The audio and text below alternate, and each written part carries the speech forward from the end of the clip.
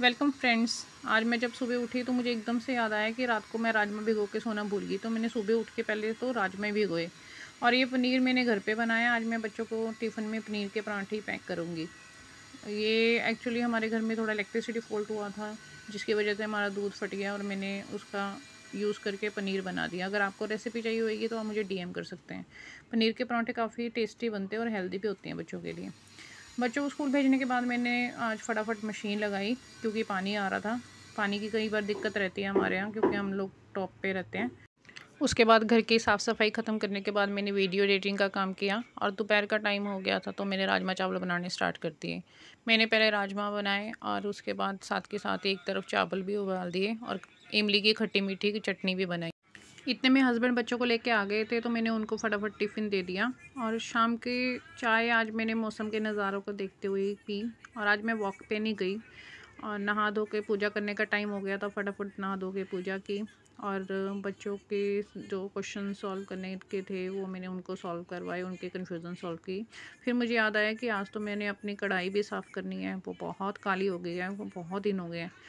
मैंने पहले कढ़ाई में पानी, सर्फ और थोड़ा सा डिश वॉश डाल के उसको एक उबाली लगाई। उसके बाद मैंने उसको एज़ इट इज़ ही रख दिया, कम से कम दस पंद्रह मिनट के लिए।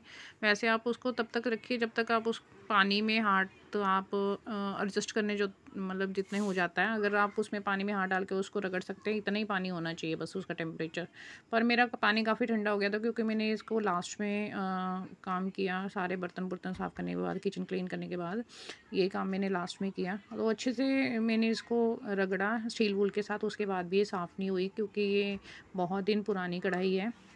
तो फिर उसके बाद मैंने एक सॉस का पैकेट लेके उसको दस मिनट के लिए रख दिया। उसके बाद तो जैसे जादू ही हो गया।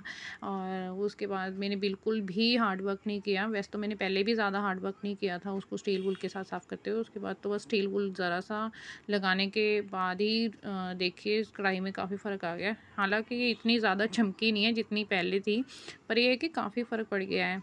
और एक दो बार मैं ये प्रोसेस अगर रिपीट करूँगी तो ये पहले जैसी नहीं हो जाएगी। इसको सुखाने के बाद मैंने इसको सरसों के तेल से थोड़ी कोटिंग की और रात भर ऐसे ही रही, क्योंकि अगर मैं इसको डायरेक्ट धो के रख देती तो इसमें जर लग जानी थी। तो ये था मेरा आज का ब्लॉग अगर मेरी वीडियो पसंद आई हो तो प्लीज़ लाइक करें।